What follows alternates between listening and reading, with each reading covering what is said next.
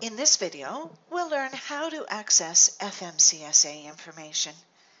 The Federal Motor Carrier Safety Administration, the FMCSA, monitors and ensures compliance with motor carrier safety and commercial regulations. The FMCSA serves as a central repository for any inspections, incident reports, registrations, and certificate information concerning any carrier operating anywhere in North America. This makes it an invaluable resource for brokers looking to vet prospective carriers.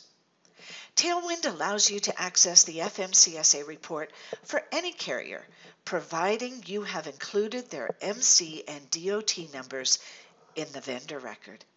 This allows you to easily check the insurance coverage, inspection records, cargo certifications, and safety rating for a carrier before hiring them, or compare the same information across several carriers who might be bidding on the same load. To do so, locate the vendor record of the carrier by navigating to the vendors list via the left navigation.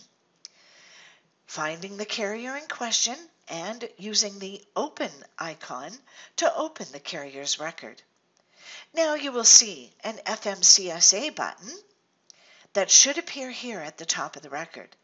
Clicking this button will bring up a summary of their FMCSA information. The FMCSA record includes general information on the carrier and what insurance coverage they have on file.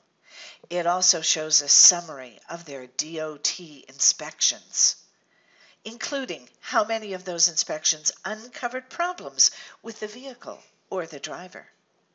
In some cases, the record will also include a safety rating of the carrier as issued by the FMCSA. S indicates a satisfactory rating, while C is conditional and U is unsatisfactory.